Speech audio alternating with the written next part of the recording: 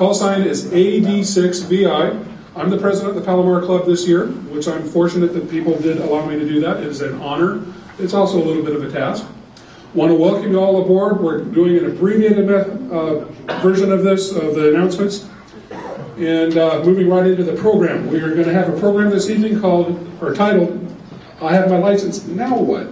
And it's an opportunity to find out little different aspects of amateur radio and maybe some practical how-to. Yeah. The Palomar Amateur Radio Club is currently the largest club in the San Diego County. We do meet here the first Wednesday of each month. I want to invite you every month to uh, join us. We have uh, two major programs we go through for the year. The first one being Field Day, which is coming up, I believe, on June 23rd and 24th this year to be the uh, last weekend of June, or is it last or yeah. Anyways, that is an opportunity to go out and get on the air. If you do not have an HF ticket yet, you're, you're just a tech, come out, we'll get you on HF anyway. It's an opportunity. The uh, other thing we have is our annual picnic. And uh, in between, we do our best to help out all amateurs in the neighborhood and do what we can to, to support the amateur community. Okay, we're going to move on to the program, and we're going to move sweeping around the room, but yeah, I guess we got people pretty much work. Our first up is going to be Pat Gunsel, W6MHZ. He is the current section manager of the uh, San Diego section of the ARRL. Pass the mic. Thank you. Uh, most of you have seen the fine magazines, even here in the uh, room, QST. And you think, well, that's what ARRL does, is publish QST. Yes, they do. But they also do a lot more. Uh, what do you get? Uh, your current membership for ARL might sound a little pricey, $39 or $36 for seniors. But when you find out what you get for your ARL membership, uh, you'll be realize what a bargain it is. Uh, you get representation to the FCC uh, and also the government agencies, Congress and such, lobbying so that we can have the best interest of ham radio put forth and have the uh, uh, various um, laws like PRB1 and all the rest of the, we're, we're currently fighting antenna ordinance problems. Uh, that's all helped out by the ARL. Uh, of course, QST also they make a whole series of uh, technical books and books for all aspects of the hobby. Uh, of course, the ARL handbook and antenna books, uh, just any about any subject you can think of. Uh, the ARRL has a book on it. Uh, they have an outgoing QSL bureau. If you work DX, you don't want to be sending their cards uh, all over the world uh, individually, so you can box them all up and send them out to uh, ARRL headquarters in Newington. They'll ship them out for you for a very, very minor charge. Um, they have technical information services. If you have a problem that you can't figure out or none of your friends can, you can call into uh, headquarters and they'll work on it for you. Uh, they have a members, a wonderful website, but they also, as being a member, you have access to a members only part of the website with a wealth of information on that.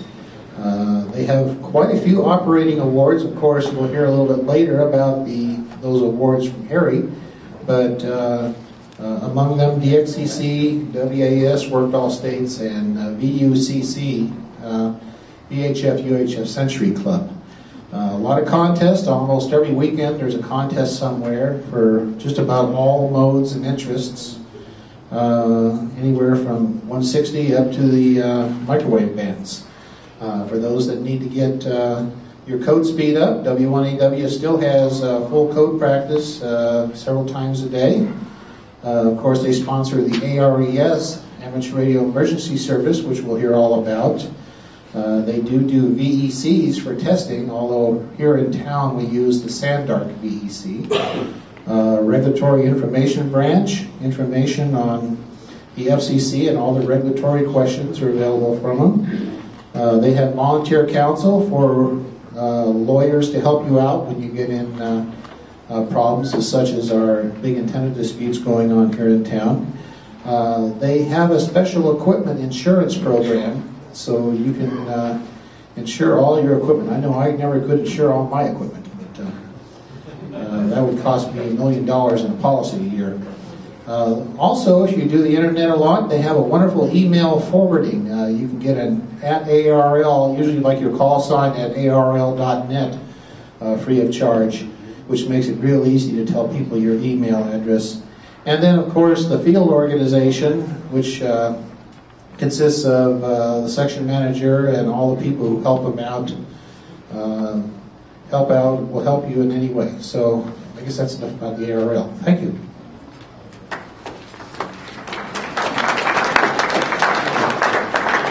Okay, thank you. Got a cue over here. My name's Tuck, call sign NZ6T, and I am the ARES Section Emergency Coordinator at this time.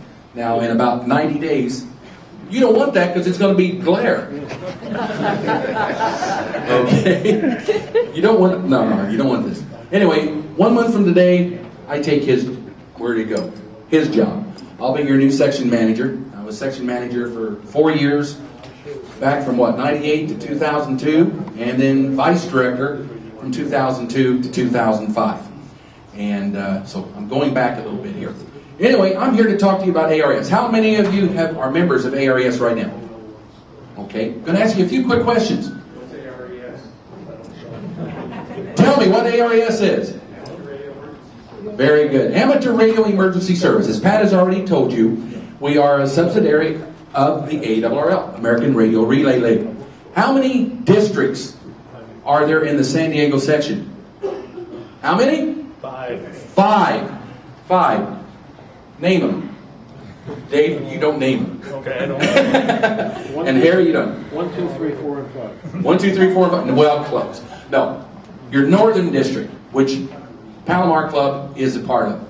Your DEC for the Palomar or for the Northern District is Tony Dome. Okay? Eastern District is Rich Bicycle, covers all of East County. Southern, down there by where I live, National City, Chula Vista, Coronado, Cerro is a big help to the Southern District. And then uh, Central District, which covers the city of San Diego. And that's uh, Stogie Panger, KG6JCW. Now I'm forgetting one. Imperial. Imperial. I was supposed to say. Yeah, you weren't supposed to say it. Anyway, Imperial, out there on the other side of the mountain, okay? We do have people on the other side of the mountain. And uh, they is run by Rory Bowers, N6CKS. Great group of people. I enjoy working with them. I'm going to go ahead and make this announcement now. In a couple months, you're going to have a new SEC. And I'm going to go ahead and introduce you now. There's a couple things that I'm working on that I want to see come to fruition first. But the new section emergency coordinator is going to be Mitch, K6BK. Give him a round of applause. Let me tell you, this job can be very frustrating at times. Okay. A couple things that are happening in ARES at this time. We've got a couple memorandums of understanding. One I'm very happy with, Mike, N6GEM. He's with San Diego CERT. And we've got a working relationship with San Diego CERT. We're going to help them. They're going to help us. We're going to allow them, or encourage them, not allow them, encourage them to come with us and learn how to communicate the way it should be. A lot of these are people brand new that have never held a radio in their hands. They're going to teach them all the technical stuff, what they're supposed to do. We're going to teach them how to communicate. Okay? Good system. San Diego, we're also going to have communications with the hospitals. When phone lines go down, we're going to send hams into the hospitals. We're going to provide communications from the emergency room to the operating rooms, wherever it may need be. Because you know, you got to have communications in a hospital. We've got an MOU with the uh, El Cajon Elks Club, where we've got an EOC set up there. So we've got a lot of stuff that is going on. Public service events. How do we get our training? Public service events. We've got Special Olympics. How many of you have ever worked with the Special Olympics? Dave, Harry, all these. We go out there and we provide communications. I know he's going to cut me off here before long. We're going to provide communications to make sure those participants are safe. If something happens to them, we're going to get them emergency medical care. What else? CDF. Miramar. He, he wants to make sure we have the Miramar Air Show. Last year was very, very, a lot of fun. We were up there for three days, and one day in particular, we had a four-year-old child that had gotten lost. By with our rovers out there and our communicators, we were able to help find that kid within 20 minutes. And we're very proud of that. Okay? CDF, uh, Special Olympics. How many of you like going to the beach? Nobody likes going to the beach? All right. We've got a thing we call I Love a Clean San Diego that's coming up April 29th. I'm going to need about 40 communicators. You go out there and you talk on the radio and you get to see the beautiful beach alongside. Okay? So think about that. I would encourage you to get involved in the ARES. We meet the set, normally the second Saturday of every month at uh, Giovanni's, Claremont Mesa Boulevard, and Ruffin Road. Seven bucks for an all-you-can-eat buffet. And This month is different. yeah, this month is different. We're going to meet on the third uh, Saturday as well as in May because we've got public service events. You heard Dick talk about the uh, run that's going to be on the north uh, second Saturday. You got something else coming up in May? Well, I'm gonna do. public Oh, you're gonna do service that. event, If you don't do the whole thing. All right. hey, you get me talking, you know. So, well, anyway, he's saying to wrap it up. Anyway, thank you very much, ladies and gentlemen. It's been a pleasure.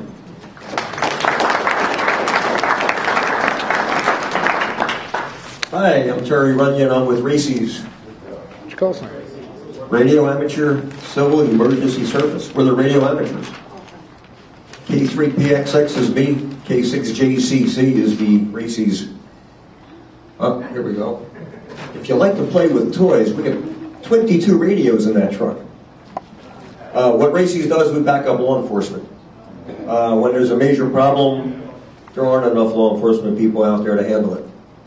That's where we come in. That's why we have a license in the first place, if you remember on your test.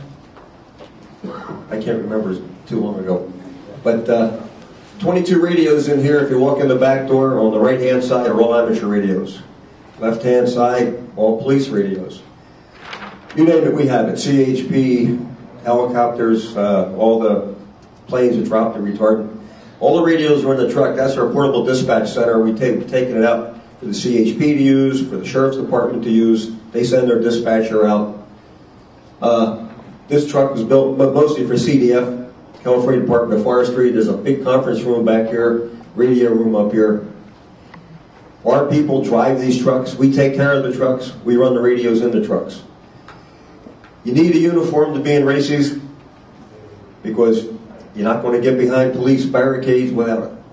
They don't want untrained people in a really nasty fire zone or any bad situation. You need the training. We have, we're dealing, we're not amateur radio operators when we get called in for RACES. We're professional radio operators. You have to know how the state does it, how the federal government does it. County provides all the training. They provide all the radios. Luckily, there are a lot of people in government in this county that have, have a ham license in their pocket, and they know the importance. So they get us whatever equipment we need. If you're interested, see me afterwards. Uh, there's a lot to learn if you want to be in RACES because you're going to be a professional radio operator, working with law enforcement people. Hmm? Oh, general meeting is next Monday night. If you can find HRO, you can find where we are. The Emergency Operations Center for the county is in Claremont Mesa Boulevard, right off Claremont Mesa. We're on the first floor. 911 people are upstairs. Part of your training, you have to sit up there and see how they work things, so you can speed things up if you have to. So see me afterwards. Thanks. What time? Time. Meeting is at 6:30 next Monday night. See me, and I will tell you how to get there and what to do.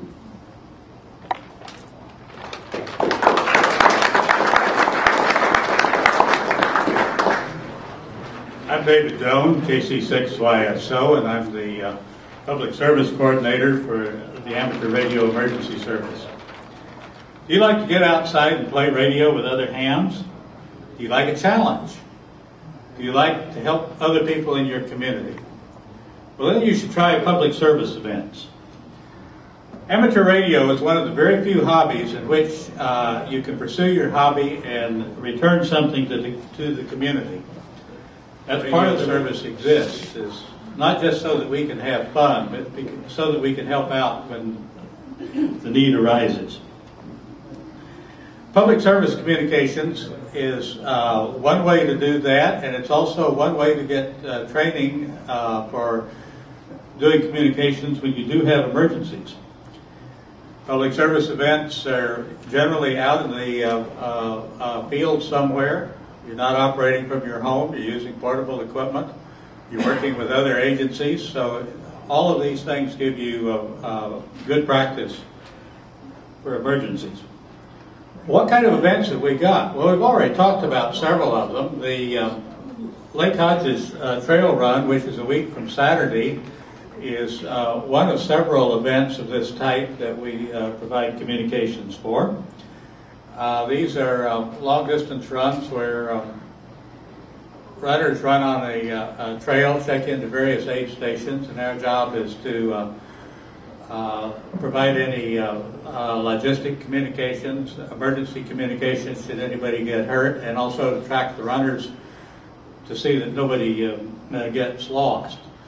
The Lake Hodges race is in the daytime along the shore of Lake Hodges, and you never get more than uh, stone's throw from civilization. So it's a very low pressure event, which makes it a very good um, uh, training event for um, uh, any kind of communications, and particularly training for the more complicated trail runs.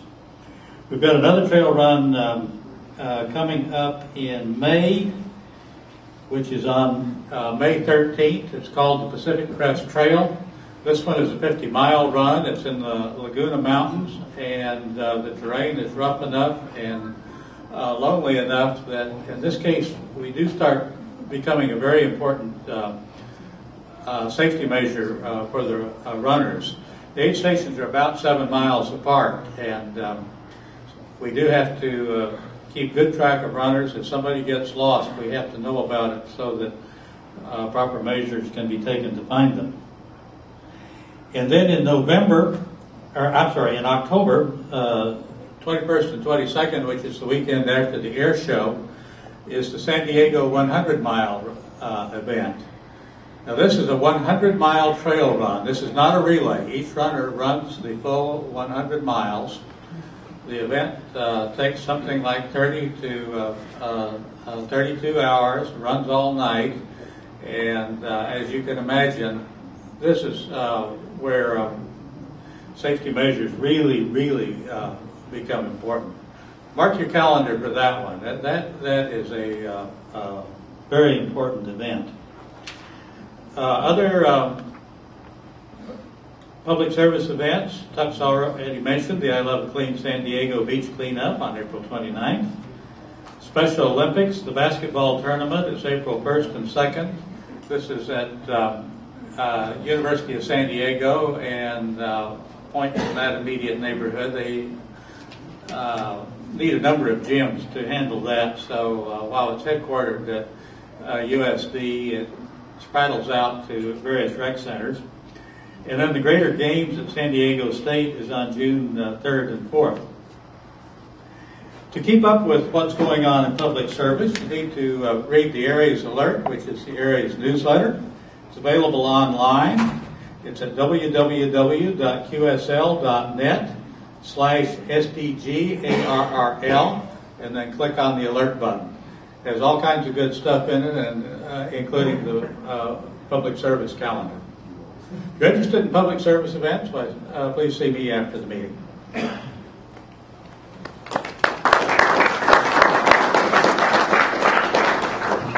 Good evening. I'm Jim Cooper in E60. I'm going to talk to you about QRP.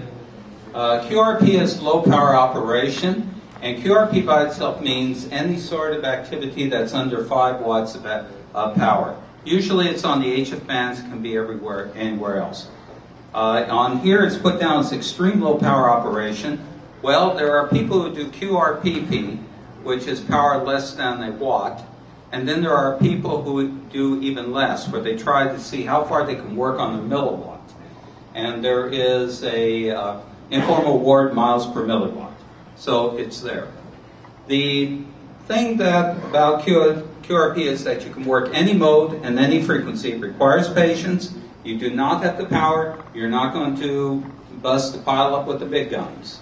It's also, a lot of it is portability. As you can see here, uh, um, a minimal antenna and a rig, I've just set it up here, no problem. Could be on 20 meters. Don't know if I'd work anybody, but I could be on it. The many types of different rigs that you can have. Uh, there are commercial rigs. We have uh, two varieties here. Yaesu makes a nice popular one, the FT817. Uh, Glenn brought in his uh, ICOM 703. Both of these run about uh, 5 watts. They're full featured rigs. Uh, the FT817 goes from 160 meter up to 70 centimeters. And I use it as my primary rig, both in the house and uh, when I go to activities. There are kits that are available. You can build your own stuff. We have some beautiful kits here. Uh, Ralph, and I'm not remembering your call sign, so I apologize, brought in a very nice uh, KX1 from El- Elecraft. And uh, those are very nice. The older brother of the uh, KX1, the K2, is considered perhaps the best QRP rig, and the receiver of it is as good as anything you can buy elsewhere. Other rigs I have here is kits. You're not limited to just the ordinary uh, voice and uh, CW modes. Here's the PSK 31 uh, rig that will do digital modes, run 2 watts. I also have a uh, complete transceiver here for 40 meters that will put out about 3 watts, and a, uh, a, a 2 meter single sideband transceiver that puts out only a few milliwatts because it was designed to work as an IF rig for uh, microwave equipment. The one of the things there is there is a kit called the Rock Rockmite. It puts out half a watt. It's only like twenty-five dollars, and it's a complete uh, 20 meter transceiver. Doesn't put much power. It has limitations, but it's an excellent first kit. Antennas. QRP is a lot is portable. You have antennas that you have to do. This one here is a 20 meter antenna, a mag loop, and uh, you can take it out, set it up, get going any place. For QRP, you want to have the best antennas you can. Uh, many element Yagis are the best, whatever you can put up. Uh, for portable operation, you have to have something you can carry with you. Portable antennas are a compromise. The, this is a compromised antenna, but it is portable and it does get out. Got 15 countries on during the test, uh, DX test, and my biggest problem was trying uh, trying to hear the foreign countries under all the S9 Plus uh, Americans. Uh, in short, I would say that QRP is a lot of fun. I would not recommend going QRP for your first HF rig. It does take a little effort. Get a 100 watt rig and the big antennas you can. Um, just try to do the best you can and, and go. If you have questions afterwards, please come by and ask there. I have a handout and uh, be glad to answer any questions. Thank you.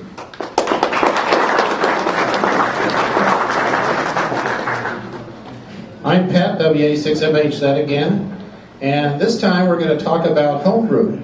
Uh, what is homebrew? Building what you cannot buy. Maybe you can buy it, but maybe you want to build it cheaper. Maybe you just want to have the sense of accomplishment and pride in making something out of a bunch of parts. And that's what we have here today. We have 50 years of homebrew here on the table. Uh, where do you get a project? Uh, QST, the ARRL Handbook, is just chock full of various projects. Some of them are uh, quite advanced, but some of them are also quite easy. Uh, here's an example of a project everybody needs in their house. This is, uh, I didn't build this one. Uh, this was got at the last PARC auction, but it is a digital clock that somebody made. Uh, looking at it, it looks like it's the late 70s. And uh, of course, everyone needs to know what time it is for UTC. Um, of course, there's different methods. You'll see some beautiful uh, surface mount and other uh, type of uh, mounting on Jim's table here. Jim has done a spectacular job on mounting and homebrewing various things. And uh, sometimes you can use some parts that uh, were doing something else. Uh, the most complicated project over here is a 1296 transverter that's using some parts that were in former Qualcomm units that have been modified for the, uh, the bands. Uh, I, this particular project, this 1296 transverter, uh, I've been working on now for a couple years, and uh, it's actually almost working now. So I do, I can receive, and I do have a transmit signal, but uh, needs a little more oomph out. But well, we're still working on it, and we're going to close it all in the box. Uh, this is another item which is currently or never been available. Uh, this is the only one of these in the world. This is a 10 gigahertz handy talkie. yeah. Well, you see that back in the early days of 10 gigahertz, everybody used wideband with Gunnplexers, so it was a little easier. Now everybody uses sideband on 10 gigahertz, and it's kind of obsolete, but uh, it still works. Um, this item here, I found, I wish I had built this thing because this is an incredible piece of craftsmanship. This is from the mid 50s. Somebody back east built this, and I got this on eBay. I had to bid quite high to get it because I had to have it in the museum. But this is a 2 meter AM transceiver, uh, less the power supply, built inside a very thin box. And incredible craftsmanship and design on that.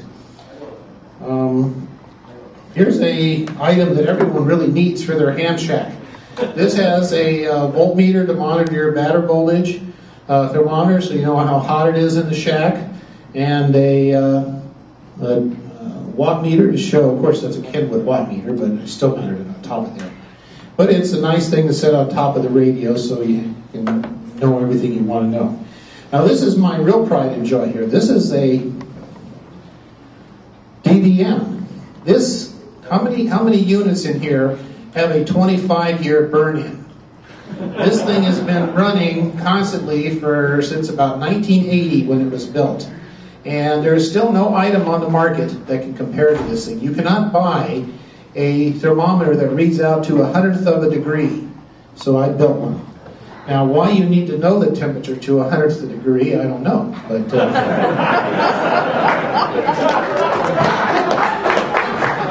it just so. Uh, so yeah, I mean it's so sensitive that you can see the temperature change as you walk towards it. Just your radiant body heat causes it to change. So that's a wide variety of uh, homebrew projects here, and please come on up afterwards and take a look at it all. And now, Harry. Good evening, everyone. Harry, W6YOO, formerly WA6YOO. Before that, WN6YOO, and before that, are you ready for this? Zulu Papa 5 Hotel Zulu. That was my first call. Anybody tell me what country it's from? Paraguay, you're right. And so I started off in the DX business as being the DX station, and that's a real thrill when you turn the radio on, ask who's there, and the deluge. I used to talk to my daughters who were in college at the time, and as soon as I got through with them, they, they'd go to the radio club there at the Cal Poly, and when I'd finish with them, everybody and his brother from New York to San Diego would call me because there was only two DX stations in all of Paraguay at the time. A lot of Paraguayan amateurs, but they just talked amongst themselves around town. Anyway, talking about DX, uh, worked all states, and uh, IOTA. First of all, the equipment you need to work DX. What's DX? You need a radio. Well, I'll tell you that in a moment here. You need a radio, you need an antenna, you need a microphone, or a key. DX means distance, but it means a different thing to different people. For the dyed-in-the-wool HFDXer, it means talking to the other end of the world. I got a QSL card here, um, which you can come up and examine later. Uh, that uh, is my last one of all the DXCC entities, 335. That's it. Andaman Islands, uh, made famous when the DX team that was over there switched from DXing to emergency communications. I had a, a chance to meet the lady who was in charge of the group last year, a wonderful lady. That's HF. VHF, it might be uh, the next grid square over, two grid squares over. If you get uh, E skip, e skip uh, it might be halfway across the country. six meters, it's a little bit more difficult to work 100 countries than it is on HF. How many awards are there worldwide? Oh, 3,000 some odd. How many countries provide them? Oh, 125 or so. But the principal awards are provided by two groups. One is the ARRL, the American Radio Relay League that Pat talked about earlier. And their big awards are DXCC, that's working 100 DXCC entities, used to be called countries. There's 335 of them, there's a whole flock of them that have been deleted over time, as Czechoslovakia at one time was one country, now it's two. East Germany and West Germany were two countries, now they're one. So over time it changes, but there's 335 current ones. Some of them, we used to call them countries, and people say, but Hawaii's not a country. Yeah, but it's 2,000 miles away. Well, Alaska's not a country. Well, no, not really, but there's another country in between called Canada. So there's 335. So that's something you can start off with when you get your HF uh, license. The other thing is worked all states. How many states do you are there to work all states? There's 50. And when you work all 50 of them, you've got two DX countries. Actually, three. The United States, continental, Alaska, and, uh, and Hawaii. And One, and, no, Puerto Rico doesn't count as a state. It's a, it's a territory, but that counts as a DX country. And by, when you're working all states, you're bound to get uh, Puerto Rico along with it. The other uh, group in the world that supports a DX type award of some uh, consequence is the Royal Society of Great Radio Society of Great Britain, Islands on the Air. Now they've taken the world, they've taken all the islands, they've drawn circles around individual islands if they're far enough away, enough away from all the rest, or around island groups, and narrowed it down to be 1,200 island groups in the world.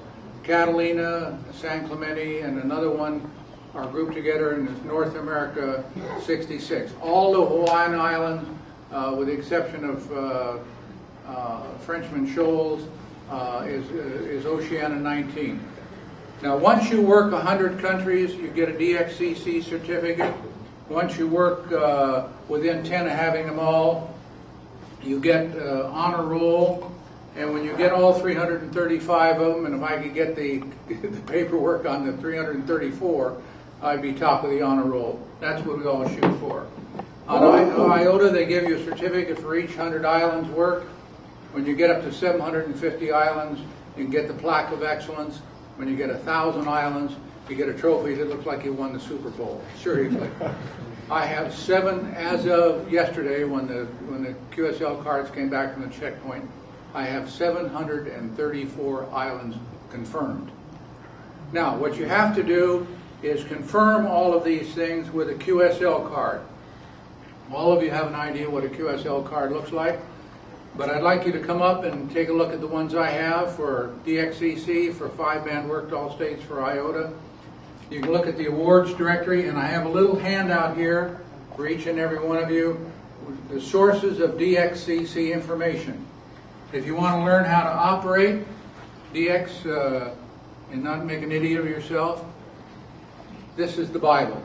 If you have a question about operating DX and you can't find the answer in this book, go back and look again because it's there. And AC6V, Rod, who runs one of the finest uh, URLs in the world, is the publisher of this book. So come by and look at the cards, books on DXCC, books on 160 DXing, and so on. I think you'll have a lot of fun with it. But if you get into DXing, there's one thing you have to do. I insist upon it. To save yourself. That's hire a good divorce attorney and put him on retainer.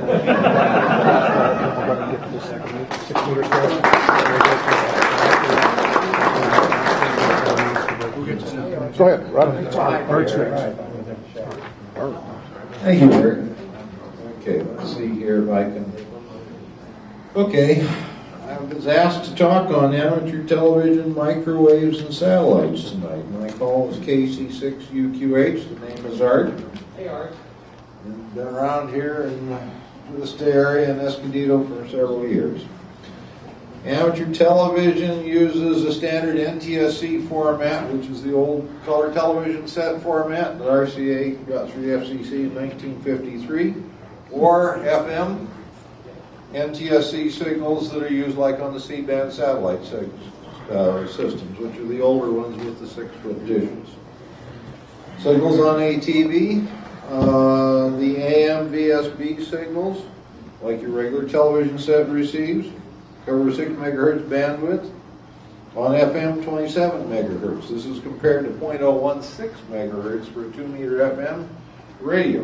In order to have a quality picture, a 200 microvolt signal is needed for your standard television signals and 20 microvolts for FM. This is uh, somewhere between 1,000 and 10,000 times more power than is needed for 2 meter FM voice signal. We require high gain directional antennas, short distances, and the power of up to 100 watts in order to get decent pictures. Uh, you can't really have anything interfering in between. ATV is nice because you can see what you're doing at the same time you're talking. Uh, I routinely work uh, repeaters in the Santiago Peak area about 40 miles away from my home in Vista.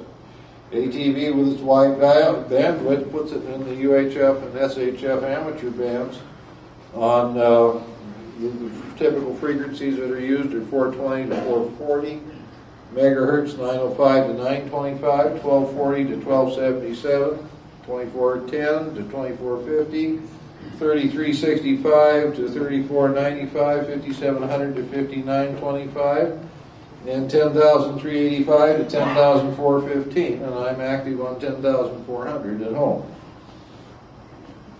If you're interested, equipment can be purchased from the following companies. PC Electronics, Down East Microwave, 4ATV.com. Uh, surplus equipment can be modified. Sources of that would be eBay, swap meets, used C-band equipment, VSAT converters, used dish antennas, Wi-Fi amplifiers, and the Radio Shack Wavecom Junior uh, television units. In the microwave activities, the region considered the region for microwaves is considered to be 1240 megahertz and up, which is the 23 centimeter band. And this includes infrared and light, and there are people actually working on laser communications. Unlike the lower frequencies, the only noise from the only noise from the ground and electronic noise from amplifiers limit the receiver performance. The Lowest microwave bands offer the best signal noise ratio at 1240 megahertz. The noise from space is decreased to almost zero, maybe 10 or 20 degrees Kelvin. And the signal losses from the bottom of the lowest band all the way up increase about 6 dB every time you double frequency. So it takes four times the power if you double your frequency. So the bottom of the microwave band region is the best uh, for long distance work. Microwave frequency, short wavelengths make parabolic dishes desirable with amazing antenna gains. At 3 centimeters, 10 gigahertz, a 3 foot dish has 36 dB gain, giving a 1 watt transmitter 4,000 watts of effective radiated power. But it's only a degree and a half light. So you gotta be very careful how you point it. Microwaves duct, duct just like 2 meter VHF. Contacts using ducting to Hawaii from California have been made on all bands through 5.76 gigahertz. Ducts can be caused by temperature inversion or by a layer of trapped moist air in the troposphere, or in the case of Hawaii contacts, both. Starts out as a duct, and a temperature inversion duct over here moves up into a cold moisture duct and winds up at about 7,000 feet in Oahu, where there are several amateur repeaters, and uh, it's been worked. As the frequency goes up, moisture and oxygen become absorbers in microwaves. At 10 gigahertz band, the transition point where water can both absorb and reflect waves. Contacts of over 7,000 kilometers have been made on reflections from thunderclouds on 10 gigahertz, which is kind of magical because that's the area where you get both absorbance and reflectance. And believe me, if you've never heard a sideband signal on a bounce off a thundercloud, you've never heard something that sounds so weird. And I've never heard anything like it on HF or any other band. In addition, there exists an evaporative layer of, of moisture at 15 feet above the ocean. During calm periods of the sea, distance over 1,000 miles have been worked on this band using a combination of evaporative and temperature inversion ducts. Modes worked on microwave include CW, digital mode, single sideband, FM, slow scan, fast scan video. Contacts range from rain bounce to Earth, Moon, Earth. EME contacts have been made on all bands through 24 gigahertz. By using high gain antenna, signal can be bounced off of hills, mountains, buildings, water tanks, anything else that will reflect a signal. Sometimes a double or triple bounce can be worked. The San Diego Microwave Group meets the third Monday of each month. Net on other uh, net on other Monday nights at 9 p.m. on our 146.7 tree repeater. Give you an idea of some of the records, 1296, 4,150 kilometers, 2304, 3,982, also on 3456 and 5760. On 10 gigahertz, 10,368, 1,282 kilometers. 24 gigs, 543 kilometers. 47 gigs is 290 kilometers. 75 gigs, 177, and light, 248 kilometers. So the idea that you're going to go around the block or talk to the neighbor down the street is not necessarily so. We get into satellites. There are two main types. A LEO for low Earth orbiter. These are satellites under 800 miles or so. And AGO for high Earth orbiters, which go up as high as 60,000 kilometers. Communications distance on LEOs is up to about 3,000 miles. AGO contacts can range up to one half of the Earth in distance. LEOs make about 12 to 14 orbits around the Earth each day and are in view for about 10 to 18 minutes on each pass.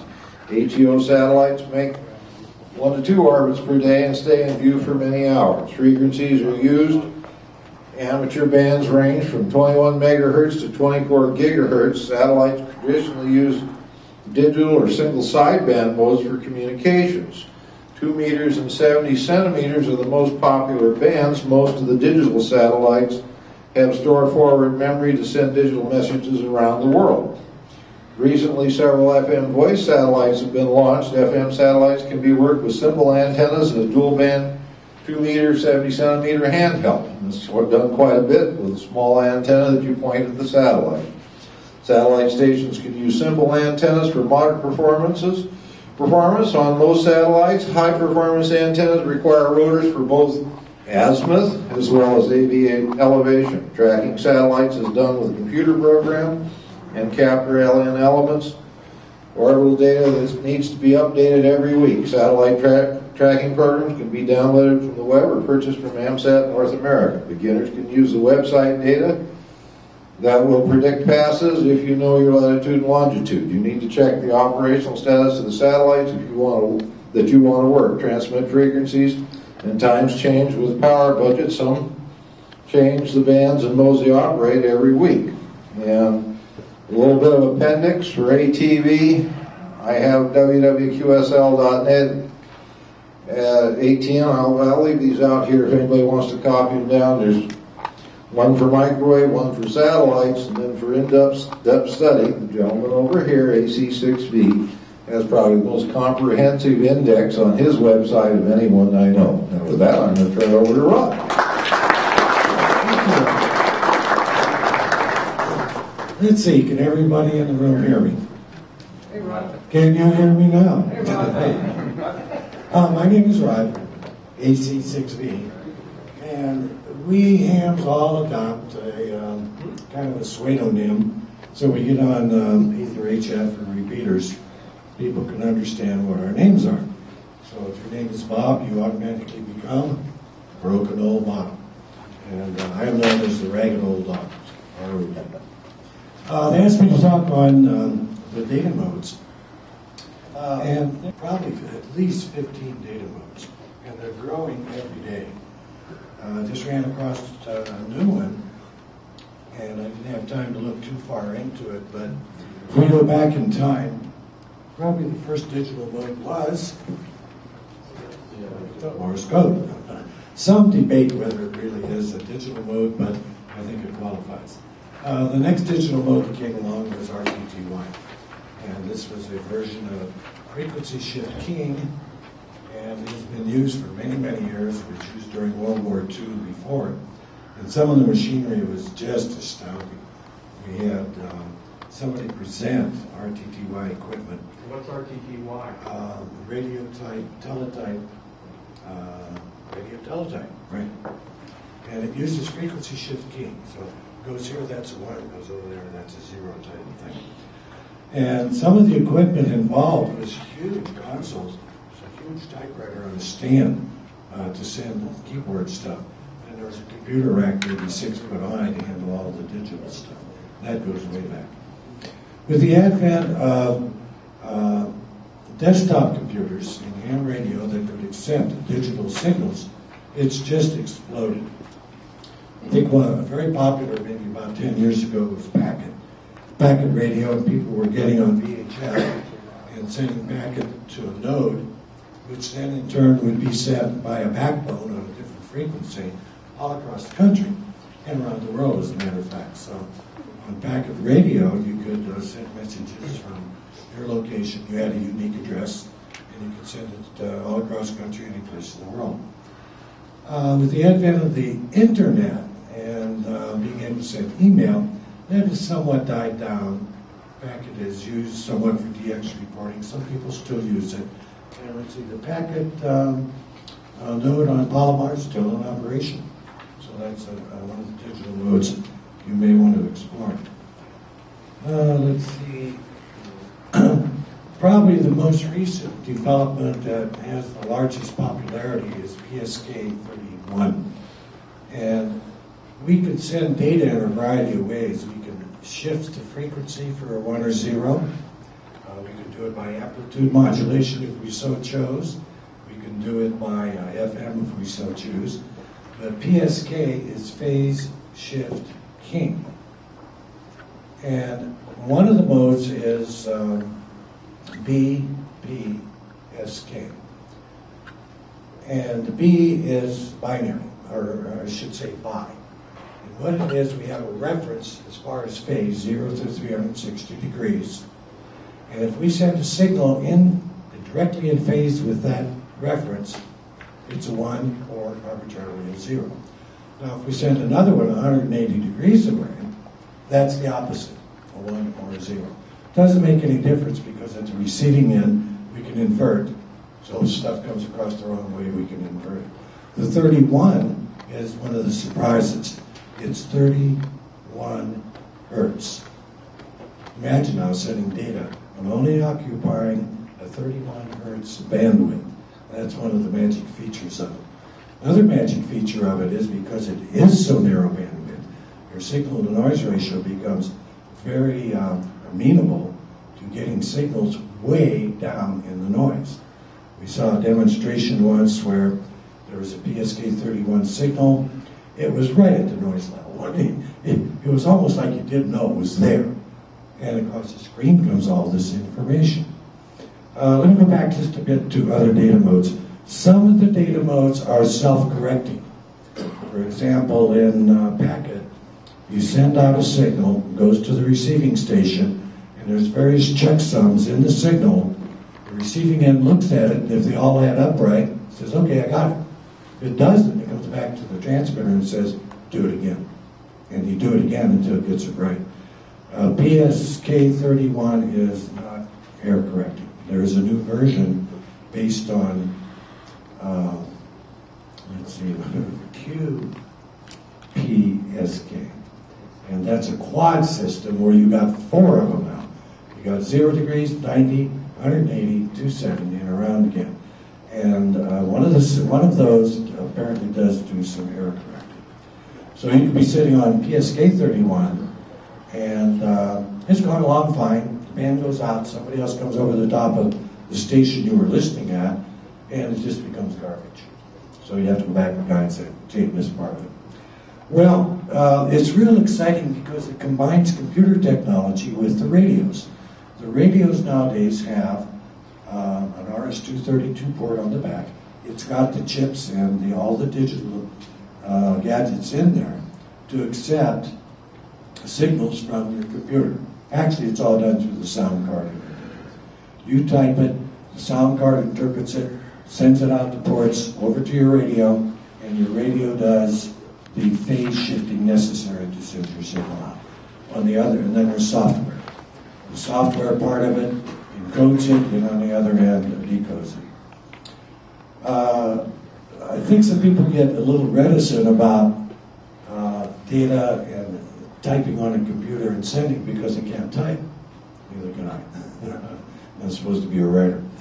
Uh, it's fairly slow. The throughput, most most people can type up around 20 or 30 words a minute. That's about the throughput of uh, PSK 31. So don't let that set you back. But even further than that, all ham QSOs take a format.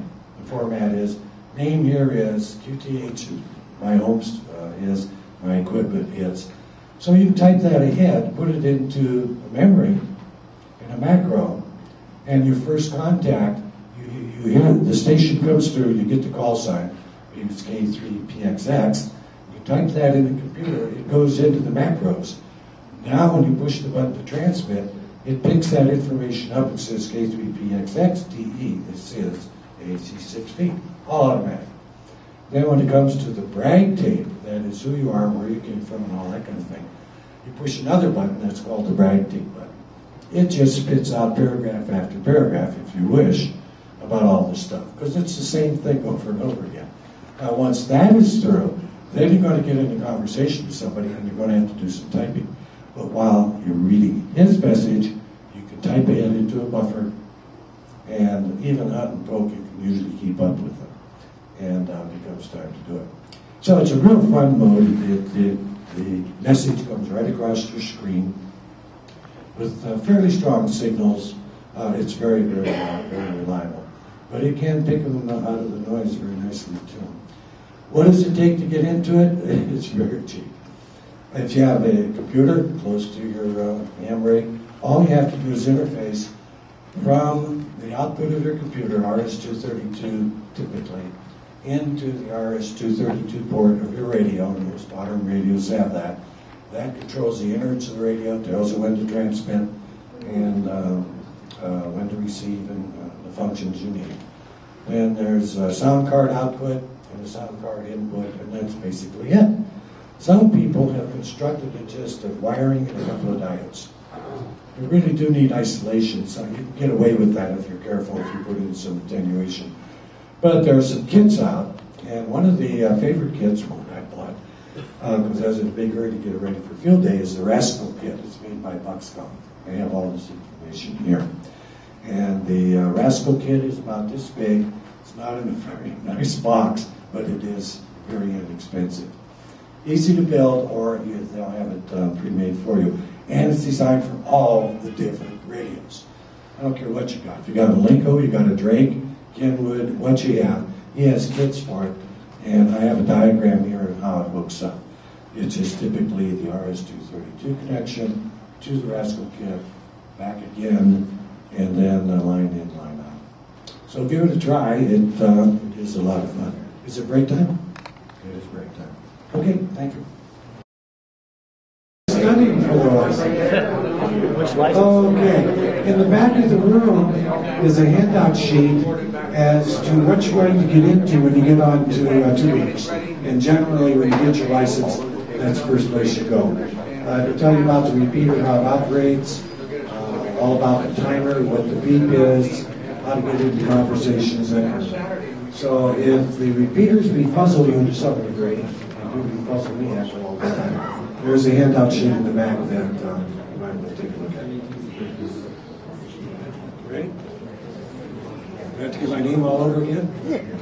I'm Rod Dickens, uh, AC6V, and this is my favorite topic, six meters. Okay, what I did uh, about six meters was I needed a backup rig for my huge, huge Kenwood that I could carry around and take to field day, take up north and operate from up there. So I bought a second rig, and uh, much to my delight, it had six meters into it. So what I did with uh, the radio is I uh, put up a quarter wave antenna, which is only about five foot high, and five foot radios roughly. Jumped on the air and went to get on the local repeater, the PARC six meter repeater. I'm sure I had the PO right, I'm sure I was on the right frequency, and I tried and tried and nothing. So I listened all over the band, and I didn't hear a thing. So I called my neighbor and I said, good grief, I, was, I did something wrong. Could you check me out here? It's only a mile down the road. He says, yeah, about 10 minutes, come back and give me 10 minutes and I'll, I'll meet you on 50.125. I said, okay. So on 5125, I tuned in and there's a station there calling CQ from the state of Hawaii. Now, on six meters, that is a long haul. I didn't think too much about it, put it in the log book, and I said, well, that works. So I got to asking around, and I found out the PARC repeater was down. That's why I couldn't even get to the PARC repeater. And I didn't have enough information to get on any others. So there I was, I'd worked Hawaii, and it turns out Hawaii is one of the toughest states to work on six meters. The other one is Alaska. That's another long haul. Let's look at six meters, and what is six meters? Well, to begin with, it's uh, 50 to 54 megahertz, and HF is 3 to 30, and VHF is 30 to 300, and then 300 to whatever is UHF. So the six meter band is a UHF band. Are you going to talk to Alaska or Hawaii on two meters? And using Art's method, which is ducting. It's VHF. Huh? It's VHF. What? Six meters is VHF. Yeah, that's what I said. I? It's uh, 30 to 300 is VHF, therefore six meters is uh, VHF band. But it has some very uh, similarities to the HF band, particularly 10 meters. But what would you think if you tuned in your television station on channel 2 with an outdoor antenna before all this cable stuff, and you saw a station coming in from New York? Six meters. It, it is entirely possible. Years ago, I was watching Cleveland, Ohio station, a French station. All of a sudden, all the bars started to go everywhere. And another signal came in, totally took over the channel, and it was down in Texas, as I recall, San Antonio. I didn't know what was going on those days, wasn't it? Okay, there are about, uh, let's see, 12 propagation modes in six meters. Many of them are very esoteric, and they are, there's things like rate scatter. There's uh, others like meteor scatter. And to go back to data for a moment, and the data boys have worked up a very, very high-speed data program, which bounces off the meteor trails and comes back, and then you can decipher trails are very slow. Another way of doing that is setting up high-speed CW, come down high-speed CW and record it and play it back slow. But uh, the, the main modes for uh, six meters is one, just like the HF bands, it's an F2 layer. And the higher you go in frequency, the higher the skip distance, the longer the skip distances get. When you're on F2 layer for six meters, you'll skip out about all the way across the country with nothing in between. You work the whole eastern seaboard, Caribbean, down to Central South America. Very, very long angle, long range skip. So when would six meters um, experience that F layer skip? Now? Well, your sunspots are way down. But the only time you're going to get F layer skip on six meters is when the solar cycle is up and it's towards its peak, and the SFI is somewhere up in the high 200s. Then it is entirely possible, and it's very exciting. But it doesn't last long. The cycle goes back. Well, in the meantime, you can listen to six meter band and not hear anything. A couple of repeaters, a couple of lobes, that's about it. But at certain times of the year, another phenomenon comes along. It's called sporadic E. We have F layers and E layers and D layers. Now, the sporadic E one of those phenomena that scientists can't quite figure out. Nobody's quite sure what causes it. Some uh, think it has to do with uh, wind shear. Some think it has to do with uh, uh, weather, thunder, and so on. It certainly has nothing to do with the solar cycle. So when sporadic heat occurs, you will routinely, at certain times of the year, in the summer, during the day, work six meters with very low power, minimum antenna, all over the west. You'll have a pipeline into Washington, Oregon, uh, downtown Denver, uh, perhaps almost out to the Mississippi. So you say, well, how in the world do I get to work all states? On occasion, there's another cloud out there. So you go up to the western cloud, so to speak, bounce off the ground, back up, and you get another Spranicki cloud. Now you're into West Virginia, Pennsylvania, Ohio, Illinois, and all over the place. Not easy to do to work all states, but. What do you need? You need a sideband. An FM radio just, I have worked some FM skip, but not very much. You'll need a sideband radio. And uh, 25 watts to do the trick, 100 watts, fine. And uh, five foot quarter wave antenna, better still a five eighths wave antenna, and you can work all of that. In addition, at times you'll be working uh, Japan, the Pacific Islands, and very, very seldom on this west coast you'll be working into Europe, but that's very rare.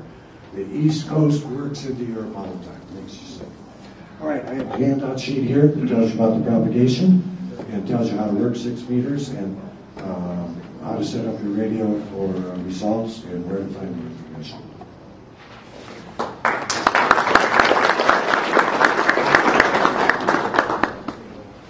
Uh, My call is WD6FWE. My name is Don, and we're going to be talking about mobile operation.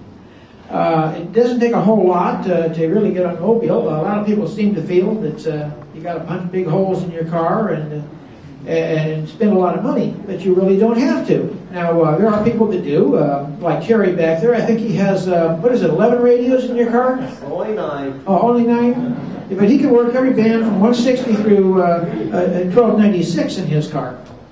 Uh, myself, I just have an ICOM 706. I'm limited to going up to 450. Uh, I can use uh, uh, up to 100 watts, uh, depending upon the band, uh, all, all modes. Uh, I work on six meters quite a bit with Rod. And uh, I have actually uh, successfully worked uh, PSK 31 in my car uh, with no hardware. Uh, just uh, using the microphone built into my uh, computer and uh, the speaker in, in the computer talking to the microphone. It, I have one successful contact that way just to prove a point. You don't have to go and use hardware to hook things up. But to work successfully in, in the car, you need to have the proper equipment. You, you do need to be able to tune your antenna. But this is an MFJ uh, uh, 259, which uh, really helps uh, tune the antennas uh, very, very nicely. Uh, it'll work on any band from uh, 160 up through the 2 meter band. They have another version that'll actually work on their 450 band. But this, this will tune your antenna without putting out any interfering signals. Uh, unless, of course, uh, you consider the fact that it is actually a QRP transmitter and it can be heard on some bands. Well, I've never heard of anybody uh, deliberately doing it, but I suspect you can probably hear it a couple hundred miles away on, on some of the bands. Uh, I usually use a millimeter magnet mount antenna, which uh, is a rather big magnet. Uh, you, you, you, you couldn't hang on to a building with it uh, and, and hang on the building, but it'll keep it on your car. There aren't.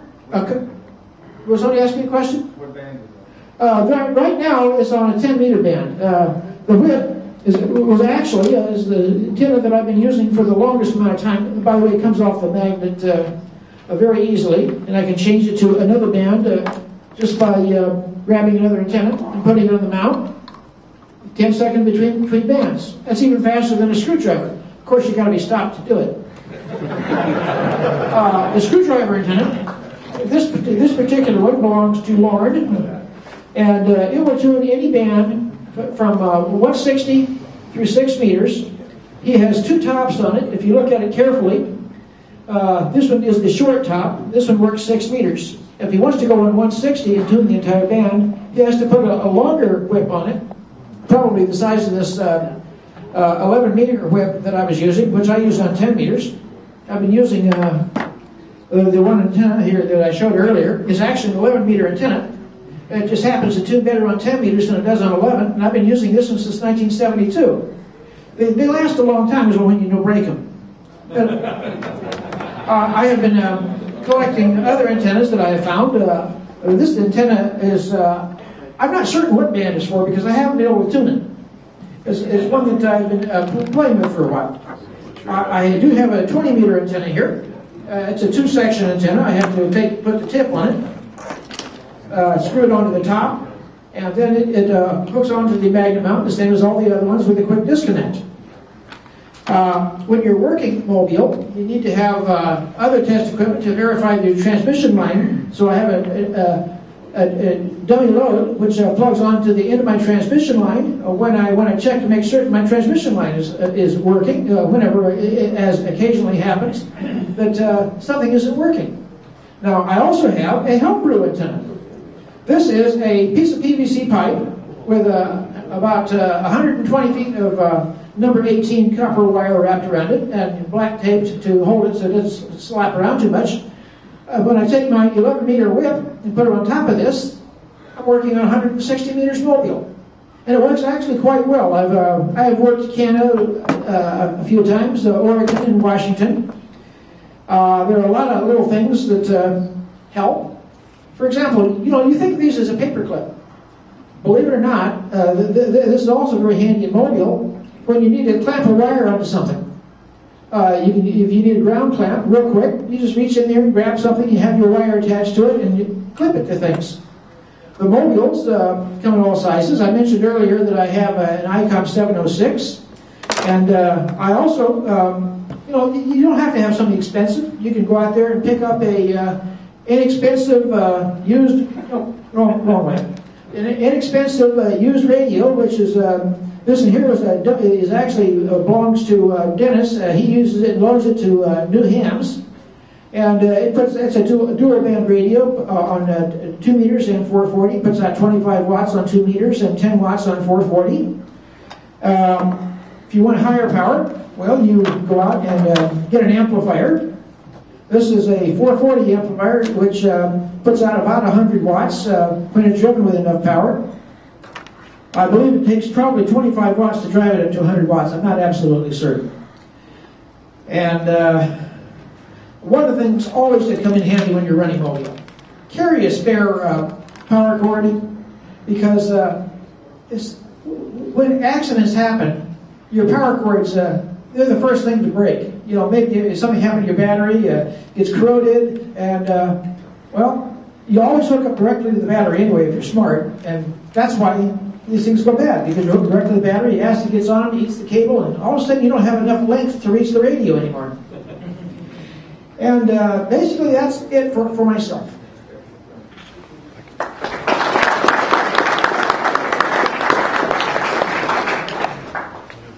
Uh, my call is N6FN, and most people call me Bernie. Uh, for years, my name. And uh, I've been asked to talk to you about uh, programming radios. Uh, that's a pretty broad subject, so we'll zero in on primarily uh, mobiles and HTs. Now, speaking of HTs and mobiles, back not too many years ago, uh, programming was pretty simple.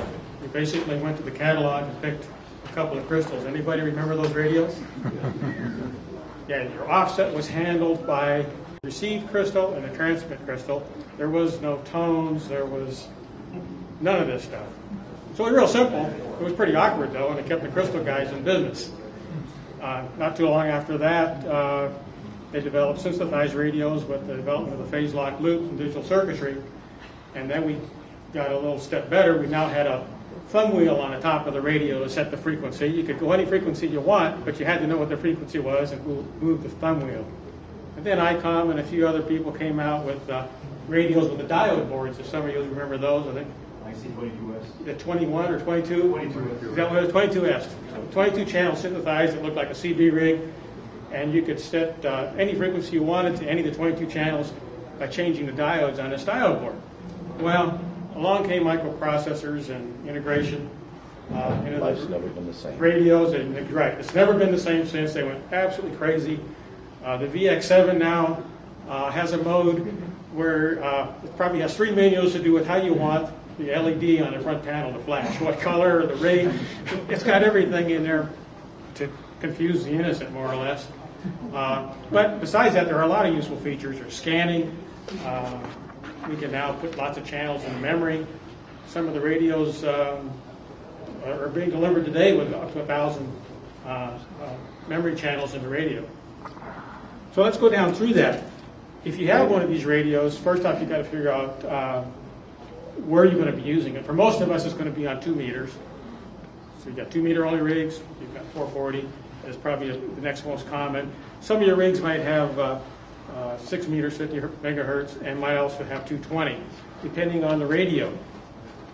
So the first step in programming that rig is to get on the air with it. So you're going to want to put in some simplex channels and some repeater channels. So the first step you got to have is, and Steve will talk about that, is figure out what frequencies you need, where the repeaters are at, what you're likely to be using. Then after that, you need to know a couple other pieces of critical information. What's the offset for that, which is you receive on one frequency, you listen to the repeater, the frequency's coming in, but when you transmit, it's going to go back out on a different frequency. And depending on the band and which section of the band you're in and how that repeater's set up, sometimes you transmit above or below what you receive. The next piece of crucial information you got to have is you got to know the access tone. Now, the access tone typically is what they call CTCSS, uh, continuous tone coded squelch system, I think. Uh, but the, manufacturers of the radios have really confused things because not everybody calls it that. Motorola originally created that process years ago, and they called it PL for private line. Um, other manufacturers called it other things. Today, ARRL particularly uh, refers to it as a CTCSS. Kenwood and uh, Yaesu typically call it that. Um, ICOM, when you get down to programming your radio, it'll usually say RT and CT. And they've got it split because when you look at CTCSS, there's two modes for that. One is, is you have, if you're going to use a repeater, you need to transmit a tone so that repeater will kick in and retransmit your signal. The other is, is the squelch part of it. So the same tone can be used to squelch your radio. So the access repeaters, you, you really have to set in the transmit one. Now some of your rigs will uh, allow you to independently set differently the transmit frequency and the receive frequency. I haven't come into an application where that's necessary, but the radios do it, so it's a little bit of confusion when you get down to that step. Which one are you setting? Well, if you need to access that repeater, it's the one that's going to be transmitted that you want. Um, now, on the radios, when you get down to that, the nomenclature that they use most often is tone. If you see the T on the LCD, that's your transmitted tone. If you get down to the TSQ, that's going to transmit the tone and also squelch your radio until it receives the same tone back. Now, a majority of the repeaters will also transmit the tone back, and you ask, what good is that? Well, uh, a lot of our radios today are general coverage receivers as well. They'll go from way down in the shortwave all the way up to you know, 900 megahertz, some of them. Uh, the problem with that is that they're wide open for interference and intermod problems. You get a lot of squealing with these kinds of radios, particularly if you get near some of the hospitals and some of the places, get near his truck. You're likely to have intermod. Well, if you put your tone squelch on, your radio is going to stay quiet even though it would otherwise be interfered with. So that's why you'd want to use that. Now, if you're operating simplex, uh, this can be kind of nice and you often see the same mode on the FRS and the GMRS radios, where they use the CTCSS or the DCS, which is a digital code system, to squelch the radio, so that even though you're on a busy channel, I some of you have probably used FRS. You're driving around town; it's annoying. There's a lot of people. Disneyland. Huh? Disneyland. Disneyland's probably the worst place in the planet. Insane. Right. It's insane. So you can't hardly use radio. But if you've got one that has that feature, you won't listen to everybody else's traffic. You only listen to what one twentieth of it, I guess. However many of those codes they're, they're using on those radios. 30, 38. something, 30. Whatever it is.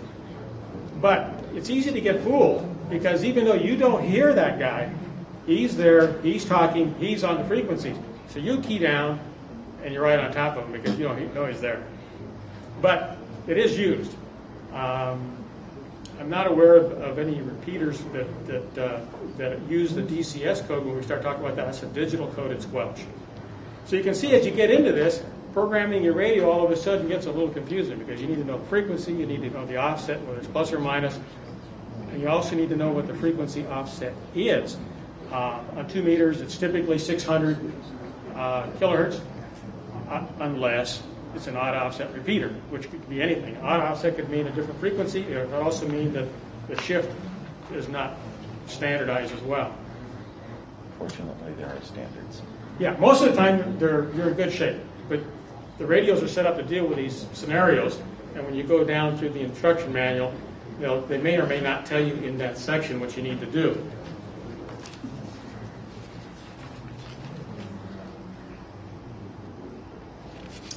The other thing you talked about is, is the, the memories. Okay, on your memories, you've got lots of memories today.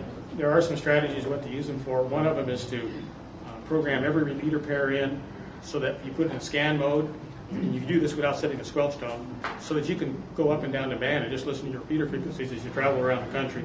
The other is a trick that I like to do is I'm going from here to Bishop or here to Utah, I've got the repeaters in sequence that I'll be working along the way. So I just reach down the radio, click, click, click, click, kind of like going on an airplane being transmit, you know, going to different zones. You just move right on down, and then when you come home, you just click, click, click, click, click back you go. Uh, I have some handouts here, um, enough for everybody, on, uh, on generically how you go through and describing some of these uh, th- these issues with the radios. Thank you. Uh, Steve? If you are. Pardon? Mention that you'll be here to answer questions. I'll be here to answer questions, but not on specific radios. There's too many of them. Does everyone have a copy of this repeater directory that I took from the TASMA website this morning? If anyone doesn't have it, put your hand up. Bob will come around and give them to you. Keep your hands up. By the door behind you, Bob. Okay. Anyways, this one will be quick, folks. Okay, repeater directories. Now, for those of you that are studying for the exam or just had the exam, the question in the technician pool tells you or asks you, what information do you need to know to program in a repeater? And the official answer on the test is you need to know the repeater input and the offset. In reality, now that's, that's the question on the test, and that's the answer you want to put on the test. In reality, you need to know the repeater output frequency and the offset. Now, this is just a sample of a two meter uh, repeater directory from the TASMA, that's the local repeater coordinator for Southern California. They give a, a list of repeaters. The, uh, by the way, the paper that's going around that people should have is pretty much their complete list. I've been told there's at least one repeater missing. You folks that are involved in that repeater need to talk to TASMA, not me, because I just took it off their website. Anyways, so we have a frequency. In this case, it's uh, 146.88. Uh, that is uh, years repeater. It tells you the frequency that the repeater output. That's the one you listen to. Uh, you program your radio to listen to this frequency. The minus offset tells you that whatever the standard offset is going to be a negative. In this case, being two meters, it will be 600 kilohertz down. Most new radios, that is an automatic feature. There's one repeater in San Diego County I'm aware of, and that's the Amateur Radio Club of El Cajon has a repeater that is an odd frequency pair, and that's not on this list, it is on the list that's gone around. And that one will have to be programmed independently. Anyway, so you have the repeater output frequency, the one you listen to, the input frequency that lets you get to the frequency the repeater listens to, who the repeater is. If you notice, we have several. Our call sign is W6NWG. Ours are on Palomar Mountain, hence the Palomar Amateur Radio Club. That's the location where it's going to be, which helps you if you have a directional antenna or trying to figure out what mountains are in the way. Would let you know where it's at roughly. Who the sponsor is, in our case, Palomar Amateur Radio Club. Then the CTCSS or PL tone. This is the subaudible tone you need to program in to uh, be able to access the repeater. Notice our 147 146, uh, 7, what was 73 and 700. I don't even see our 73 on here. Yeah. Uh, we got it, we got it off one. Yeah. Okay, anyways, uh, some do not have a PL tone, most do. In the ca- case of all these on this particular list, these are open, which means anyone can use it without belonging to the club. In our case, there would also be some other codes here which you do not see if you look at a repeater directory. C with uh, CA would be for like a closed auto patch. Uh, lowercase e would be for emergency power. S, I believe an SUN or whatever is for solar. Anyways, this is the information you need. You just need the repeater output frequency, the offset, who it is, where they are, the name of the sponsor, the PL tone if applicable, and that it's open. There are some closed repeaters. Those are ones where you need to get permission of the repeater owner before you use it. You notice on your list uh, there's several RACES repeaters. They're closed. I think there's a few others. Not going to go over them tonight. Anyways, that's it on repeater directories. Art.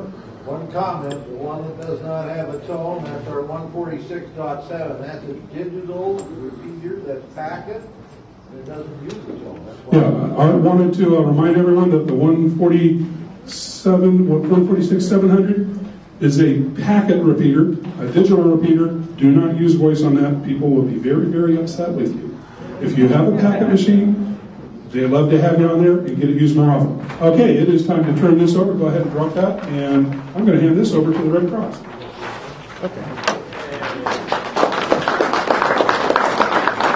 Thanks, Steve. I'm Sarah, KG6 to UK, and um, what I'd like to do this evening is just share with you just a little bit about what the Red Cross does, and then share how it is that you might become involved in that.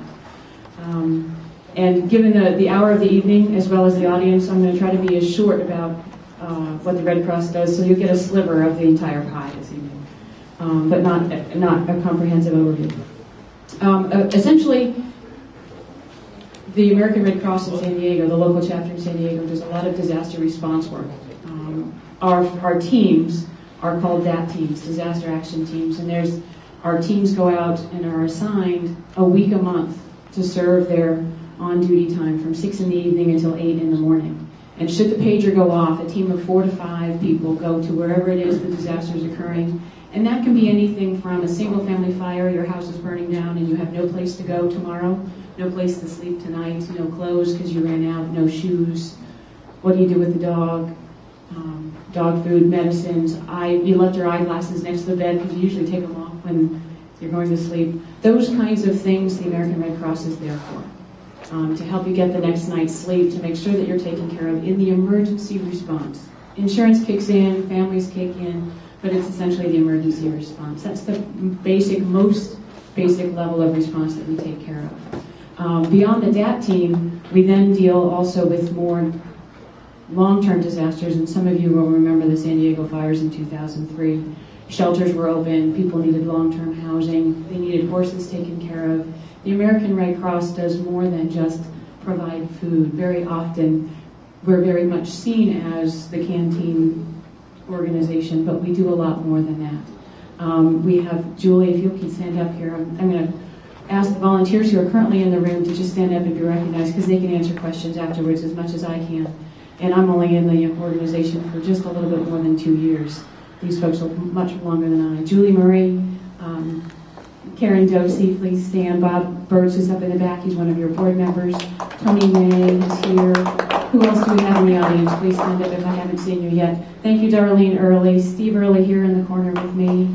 Anybody else? But anybody that has ever volunteered for the Red Cross, why don't you stand up real quick? All right. Even supporting, even Harry folks and everyone you, else who's ever supported the Red right, Cross. Jim Edgerton.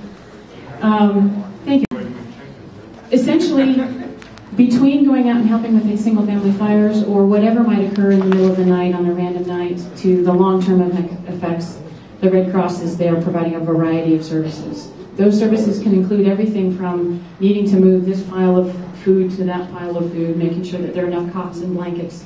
So we need a variety of skills, anywhere from laying phone wire to using a forklift to making sure that we can uh, communicate around the local area as well as the country, as Harry W6YOO knows in his rescue efforts in the Katrina hurricanes. Um, and um, thank you. Why did that blank? Howard. Thank you, Howard. Um, so essentially, the American Red Cross tries to be there to help people, and here's the catch, to prepare for, to respond to, and to recover from disasters. That's what we do. Um, of course, I shared with you earlier the pie's a lot larger than what I just shared with you, but uh, given the time. What, how you can become involved. The San Diego chapter of the American Red Cross, your local chapter, has a goal, a vision of having San Diego become the most prepared community in the nation. That's a recent goal. We've just established that over the course of the summer. We're now in full force. Today, March 1, begins the beginning of Red Cross Month. So here we are. This is our month to start our awareness in order to achieve that vision. So number one, as a San Diego citizen, you can help us be prepared as you are in your, do you have a kit in your car that will last you for three days? Do you have a kid at home? Do you have a plan? Do you have a second plan? Do you have a third plan? Do your children know it? Do your cousins, uncles, aunts, and whomever who don't live in San Diego, do they know it just in case something happens here? Those are the kinds of questions we would ask you as San Diego citizens to make sure that you have. If you can't answer those questions, by all means, contact us, get to the website, do what you need to do to help us help you become more prepared. So there's the basic. The second one would be uh, communications. Uh, Bob Birch is our volunteer staff, volunteer staff. He works really hard. He's been connected with the Red Cross for more than 30 years. Um, he is helping our American Red Cross communications department be as ready as it possibly can be so that every DAT team, when they go out or are on duty, have one person who's a ham radio operator on site, and that could be anywhere from Warner Springs to Chula Vista to El Centro. And we have one ham radio operator who's at home when the pager goes off to say, I'm going to monitor and make sure those people, when they go out, they're safe. We know where they are the entire time that they're out. So Bob is making sure that every one of our DAT teams, we have four North DAT teams, North County, everything that's 52, north to Camp Pendleton, and east from the coast all the way to Arizona, I think. Um, so that covers that space. We don't necessarily from San Diego go all the way over there. There's folks in El Centro that help us cover that space. But essentially, we want to make sure that all of our DAT teams have that, that monitoring as well as the ability to communicate. Um, that's north and then south, obviously, from 52 goes all the way down to the border. So if you're interested at all in being a ready person and going out in the middle of the night, sometimes it's hard to do, but it's well worth it when you have somebody really thank you in the morning uh, for the work that you did with them in the evening. Um, or if you're willing to stay home and just monitor for those three or four hours that somebody else is going out and doing the work, and you can't perhaps you can't leave because you have commitments to children or commitments to a family member that you can't leave the house, but you are willing to give three or four hours in the evening to stay back and monitor while everybody goes out. So it's a very easy way to be able to help. Um, the next one too is that we have uh, a Red Rose Society, which is a fundraising organization with the Red Cross that is has so far raised thirty thousand dollars towards creating a Red Cross communications vehicle specifically for our chapter which is fantastic. So I believe the plans were ready yesterday or getting ready today, um, and it will soon become an actuality for our chapter and for you all as well as, as San Diego citizens for readiness purposes. Additionally, beyond that, we have nine ECRVs, emergency communication response vehicles, around the country, and these, all nine of them, I believe, were deployed in Katrina. I just recently saw the, the data fields as to where their coverage was. And it was an impressive line of all the way across the Gulf Coast of these these nine ECRVs and, and the area that they, they were able to cover with $300,000 each worth of equipment inside of them to be able to connect to satellites as well as other radios as well as the internet. Um, so that's an impressive piece, which brings me to the point that you can volunteer on a local level, you can also volunteer on the national level, given experience, excuse me, and involvement. Um, the last piece is partnerships. The American Red Cross is a volunteer organization. We're based on people that can do. Um, our volunteer base is much larger than our staff base. Um, for every staff member, there's at least one volunteer, and then an entire team of people helping that volunteer achieve each one of the individual missions. So, if communications is something that you love to do, Bob is the man to speak to, or any one of us here in the room, because each one of us here, obviously, we have our ham radio licenses, and we're looking towards generals and helping out in developing our own skills and being very much a novice that needs to develop quickly. But in the, in the case of a real emergency, we do need to depend on people who are very skilled and further experience than necessarily we are. So your help is, is very much needed as, as you can offer. Um, did I forget anything? Anything else that we should contribute? Okay, uh, thank you very. Oh, one more thing. I'm, I'm switching hats just a little bit. Um, some of you know, some of you don't know. I am I'm a graduate of Yale University, and I'm currently the president of Yale Club of San Diego. And to help celebrate uh, Red Cross Month, the Yale Club of San Diego is hosting a benefit concert on March 15th at the Museum of Contemporary Art San Diego in La Jolla. The tickets are $20. If you can come and attend, that would be fantastic. Um, it all goes to a good cause to help San Diego become the most prepared community. On top of that, uh, there are three Yale a cappella singing groups if you enjoy people singing. There's no musical accompaniment, it's just voice, it's just sound. It's absolutely wonderful. So if you have the evening free, if you have the time, if you have the 20 bucks in your wallet that you're willing to share, please join us. Thank you very much.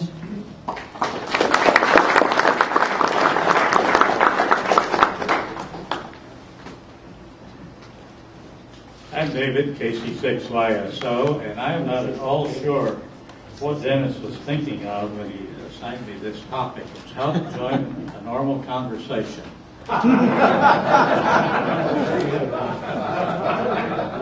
There's, there's two problems with that. One is a, a question of etiquette, and I'm not sure that I'm an expert on etiquette. And the other is, if you listen to the repeaters, when was the last time you heard a normal conversation? About 75 meters. Now, I'm just talking about repeaters. 75 meters is a whole different issue. Uh, seriously, though, each repeater has its own bit of etiquette about how you uh, uh, operate on the um, repeater. And the best way to learn how any given repeater operates is just to listen to it for a while, uh, see what people do, and uh, hope that the people that you're listening to are some of the better operators instead of some of those other folks. The Palomar repeaters enjoy a reputation of being some of the friendliest repeaters anywhere in Southern California, and I think we should all be very proud of that uh, fact. Most of the people on these repeaters are uh, very friendly, very forgiving, and if you do something uh, uh, dumb, you'll probably hear about it, but you'll hear about it with a, a, smile. If you, if the repeater's dead and you just want to talk to somebody, the usual procedure is just identify yourself. Your call sign. KC6YSO monitoring or KC6YSO mobile. And maybe you'll jar somebody out of a reverie that will uh, answer you.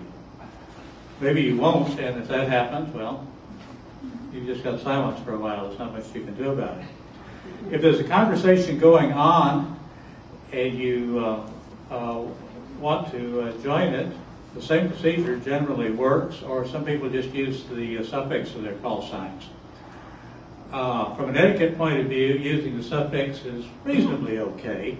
From an FCC point of view, you haven't identified yet, so if you just throw your suffix out, sometime within the next 10 minutes, you're going to have to identify to keep from uh, being in a violation. And if you just want to get into a roundtable, that, that generally works. Sometimes you'll hear somebody um, asking a, a, a, question, traffic report, uh, driving directions, uh, goodness knows what have you. And uh, if nobody else seems to know the answer, and you do, but make sure you do know the answer, um, procedure that's frequently used is just to say info. And usually, uh, whoever is next in the rotation will say, go ahead, info, and then you can throw in whatever information you've got, which is hopefully uh, uh, some benefit. Sometimes people say comment. Comment is usually just for what it sounds like comment, which is not necessarily adding information to it, but it's, it's another way to get in. So all of these schemes generally work on these on Palomar repeater without getting you um, uh, seriously yelled at. Now all you new folks are going to have all kinds of questions. At least I hope you will. The uh, license exam is, doesn't cover everything by any means. That uh, like a cartoon I saw at the DMV one time, and the lady says, "Gee, I wish it was as easy to drive as it was to get my license." So ham radio is somewhat the same way. Palomar Club uh, sponsors a net called the Ham Help Net, which meets each Thursday evening at 9 o'clock on the 146.73 machine. And this is a place you can go to ask almost any kind of question you might imagine about operating procedures, equipment, uh, computers, antennas, batteries, uh, you name it, we probably dealt with it at one time or another. And it's a good place to get it. Hmm? Preferably radio based, though. Yeah, prefer, preferably radio based, but occasionally we um, get off off in the weeds, but that's all right too. Um, it's a good a good place to go to get into a um, uh, discussion. the net has been lagging somewhat, but now that I've got a whole bunch of new hams to talk to, maybe we can uh, uh, stir it up a little bit. So I'd like to see you on the net It's Thursday night, 9 o'clock, 173 machine. Yes? Say again the net frequency. 146.73 minus 600 offset. And I think the, uh, I think the book says uh, a 107.2 PL, but normally the PL is turned off on that uh, repeater, so uh, you don't need one, you don't, or you could even have a wrong one and it'll still work. Uh, Who's next? Sir. I'm Mike, N6GEM, and I'm here tonight to give you some information on how hams are, uh, we're beginning to use them in uh, CERT San Diego, CERT being a Community Emergency Response Team. Uh, Real briefly, uh, CERT San Diego got started shortly after the Cedar fires. Uh, It was pretty quickly recognized that uh, that was a resource that was needed within the communities, and that's where CERT San Diego got its beginnings. We're trying to get uh, HAMs established within CERT San Diego, within the different community teams, to provide communication support for those community teams. Uh, to communicate within each team, eventually be able to communicate among the teams, and then be able to communicate with uh, San Diego Fire EOC. Uh, CERT will go into, come into play when there's a major event that uh, overwhelms the first responders. We're part of and are a volunteer service under San Diego Fire and Rescue, so we're there also to support them if the need arises. We have nine community teams within San Diego City. Within those teams, we have currently 15 uh, CERT Academy grads that are amateur radio operators uh, within six of those teams. The current academy, which is scheduled to graduate on the 18th, uh, we've got 12 that are already amateur radio operators, and have their license. And tomorrow night, uh, there will be 11 testing. They've been attending a, a special class that was set up for the CERT members in- within the CERT Academy that wanted to get their license. So hopefully we'll have 11 more hams to uh, add to CERT San Diego. If anybody here is from the city and is interested in CERT, I have the application forms and the CERT Academy information.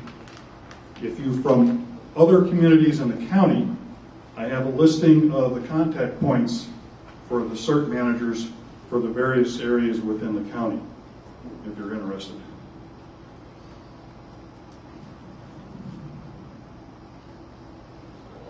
And I think that covers everything I wanted to talk about.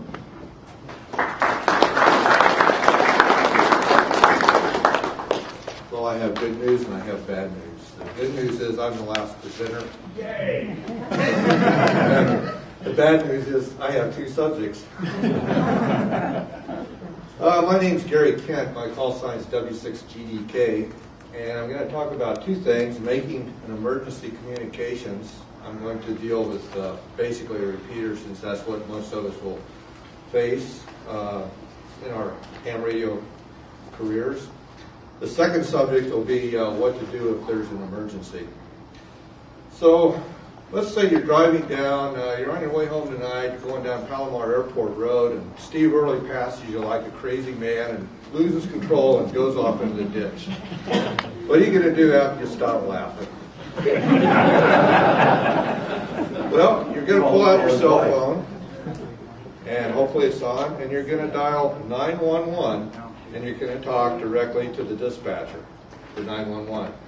The reason we say use your cell phone, if there's cell phone service around, it's the most direct and quickest way to get help for the victim in that car. Now let's say you're driving down Scripps Poway Parkway in the People's Republic of Poway. And for those of you that don't know Poway, Verizon has pulled out all of their cell sites in Poway because the city council has made it so difficult to put up antennas. So there are frequent areas in Poway with no cell service. So Steve passes you again, got his car fixed, and he goes off the road. So what are you going to do? Well, you're going to pick up your handheld walkie-talkie or maybe your mobile, and you're going to go to a repeater, hopefully, that you know is reasonably busy. Let's say 14673. Because there's always somebody there. Uh, Rod or, or Art are, are frequently on there and can give you assistance. There's a lot of other people. If there, if nobody is on the repeater, you're going to say something like, "This is W6 GDK with emergency traffic. Is there anybody that can give me assistance?" And hopefully somebody will come up and say, "Yes, I can help you. What do you need?" Now, when you relay them the information, you want to be calm. This, this is the hard part. Believe it or not, it is really hard to sit there and be calm. So you want to stop, take a few deep breaths, count to 10, stop laughing, count to 10 again, and give them the location where you're at. Um, if there are injuries, if you determine that, if you haven't determined that yet, then you may want to get out and ascertain whether there's injuries. You need to let people know what's going to be required as far as emergency services. Do they need to send an ambulance, a fire truck, uh, hazardous material truck because there's fuel all over the road, whatever. You need to let that information be known. Now let's say the repeater's busy and there's a conversation going on. What you want to do is wait for somebody to finish and you'll hear a beep tone. That's called the courtesy tone. Now, what Dave didn't mention is common practice is when you unkey, you wait for the beep tone to go before the other party keys up. This allows people with emergency traffic a chance to get in and say break, break, break. When you say that, all conversation comes to a halt. And somebody will respond and says, what is your emergency traffic? Give your call sign, the nature of the emergency, and again, all that essential information that the uh, uh, public safety people are going to need to know how to service that uh, particular problem. Now, there's a, a, uh, a point that I need to bring up. I brought this up last year. A lot of you, when you buy your handhelds, find that uh, there's guys out there or, or instructions on the internet on how to broadband these things. Go out, take a couple of diodes out or something like that. And the temptation is really great if you're on a couple repeaters, you're not getting a response. Well, doggone it, I'm just going to dial up that San Diego County Sheriff's repeater and, and just go right to the horse's mouth and, and get help. The FCC rules say that in a life and death emergency situation, anything goes, and you can do that. However, in San Diego County, you need to be prepared with a good lawyer because the sheriff's department here is notorious. We know there was one case here several years back where a guy did that on a bicycle accident, and the police, after they uh, handled the emergency, arrested the ham volunteer. And uh, I think the FCC actually got into it and said he had no right to change the radio, and there were a lot of violations. Anything goes within the hand frequencies, not on other frequencies. Essentially, it's within all take away your license. Yeah, so in, in any case, uh, I, I think this uh, particular individual was able to beat the charges, but it was a difficult, expensive process for him. Ham Radio Outlet just about got put out of business because they were put, doing the modifications. They were told by the FCC that if it happened again, they would be uh, out of business. So they don't want to do that. Now, the second topic is what to do in emergency. Um, it's a Sunday morning, about 9.30 in the morning, you wake up and you look out and you see four plumes of smoke. This is October 2003. And you, you know there's something big going on. What am I going to do? Well, it's not so much a question of what you're going to do, it's what you should have done before. Mm-hmm. And that's called training. This is a key point in doing emergency communications. We have all kinds of training programs available for hams. Uh, a good one, cheap, go down to AR, HRO and buy this book, Emergency Communications, 1995, and read it. That's a basic starter. There's training that is held by ARES, Jerry Kostra. Is Jerry still here or he leaves? I think he got up and up. In the near future, coming to a public safety center near you, Jerry will present, be presenting a really nice course called an Introduction to ARES and Emergency Communications. And uh, this is a course that you'll want to take. It's a condensed course. It'll be on a Saturday. It'll give you everything you need to know in a, uh very short form for doing ham radio communications in an emergency. Another good avenue is the ARR on, online courses. They have three EmComm courses. I would suggest you take at least number one. Of course, it costs you $40 to take it online, but it's a very good course. If you take all three, you can get a little honor roll certificate, and I noticed this month that they listed all the hams in the United States that have taken all three courses, I, I'm on there. so is Tuck Miller, NC16, and I, it was the only two I recognized uh, from San Diego. There were about 300 hams in, in the country that have taken all three courses. Um, RACES has a lot of training. That's their, that's their main thrust, is train, train, train.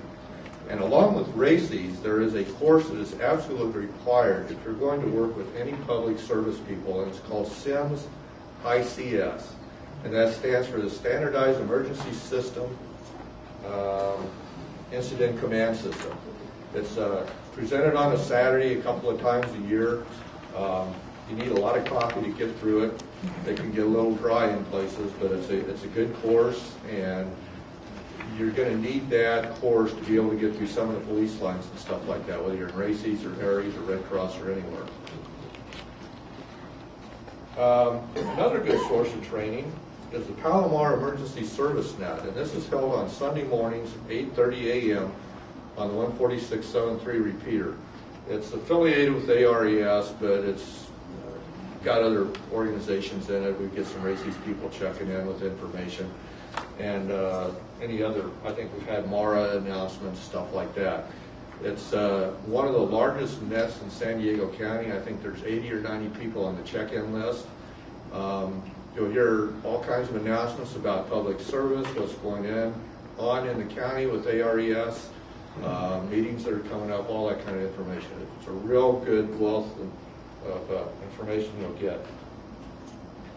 Anyway, the original topic was what to do in an emergency. If you read the ARES alert on page three this month at the bottom, it says, if the ground shakes or you see smoke or rising water or you hear reports on radio or TV, monitor the 14673 and or the 146265 repeaters. Both have a PL of 107.2 for information and possible assignment.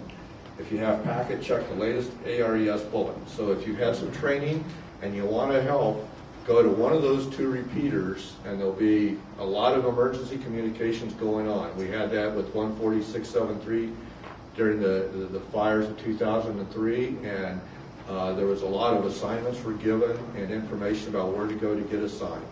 And that's all you really need to do. Yes, sir? 146. 265? Yeah, 140, I think that's Lyons Peak. It covers the southern part of the city. And the 14673 does the northern part of the county. Any other questions? Yes? Have a comment. Um, You're not always in radio range, and not even do you always get a repeater right away. If you're on the highway and there's an emergency, you see a wreck, and there's it's bad, you have a cell phone and you're near a call box, dial 911, they tell you that it'll never be more than one minute, but I've clocked it on four minutes, and walk to the call box. Stick one on one ear, stick one on the other, and you will talk to the call box first. Instantaneous, and they will dispatch quicker. And then if you walk to the scene of the wreck, take your cell phone, because they're gonna wanna know how badly are people injured, and do we need more than one unit, and that kind of thing. But the Call box is the most instantaneous communication out there. Okay, thank you. That's, that's a good tip. Any other questions? Okay, thank you very much. Okay, we want to thank you for coming out this evening. That's our program. Uh, reminder to everyone here that there's attendance sheets that went around. If you didn't get a chance to sign, there's one here on the podium. There are also HRO, that's the candy store.